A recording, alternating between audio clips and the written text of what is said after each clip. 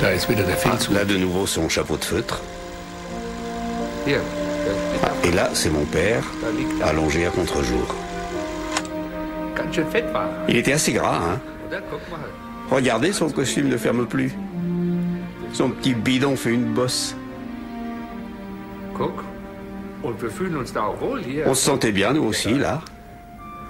Regardez, c'était un être particulièrement aimable pour nous, les enfants. Je ne me souviens pas que je suis allée là-haut. J'ai dû tout refouler car j'y étais souvent.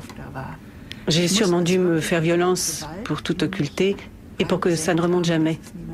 Parce que, bien sûr, au fur et à mesure que je grandissais, c'était un souvenir terrible. Uniquement le fait que, que j'avais eu avec, cette, avec cet entourage, avec Hitler et toutes les autres personnes Oui. Ja, qui me révulsent, le fait que j'avais eu cet étroit contact avec eux pendant mon enfance. Ça, je ne voulais plus l'admettre.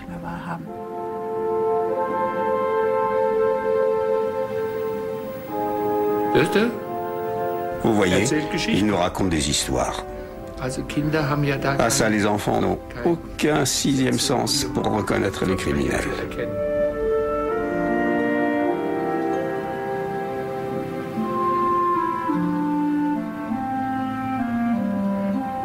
Bis 45 habe ich alles Jusqu'en aus- 45, euh, j'ai tout effacé. Comment ça, effacé? Je n'ai aucun souvenir de cette époque. Du Berghoff? Aucun souvenir. Le tonton Führer qui vous serre dans ses bras? Je ne sais pas. Je ne me souviens pas. Là, nous sommes sur le chemin qui descend du Berghof jusqu'au pavillon de thé. Et en face, c'est une vue absolument magnifique.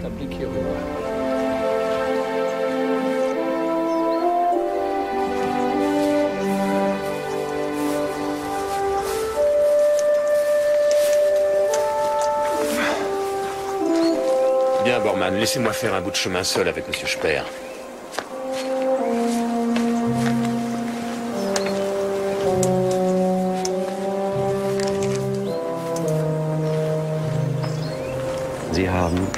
Vous avez passé toute la guerre dans les montagnes.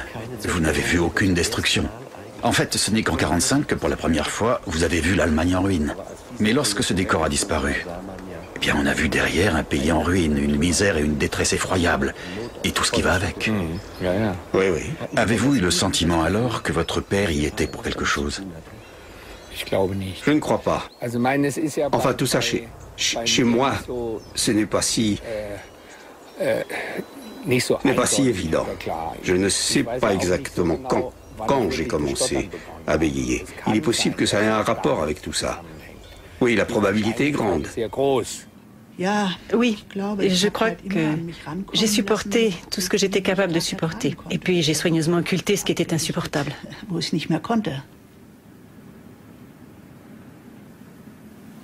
Quand avez-vous compris le mot criminel de guerre et l'opprobre que cela pouvait jeter sur votre père.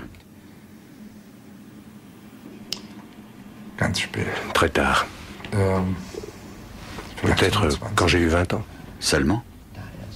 Oui, j'avais tout refoulé. Au début des années 60 Oui, oui, vraiment tout ce qui concernait ce père que... Ce qui explique probablement ce trou jusqu'en 45, ce trou de mémoire.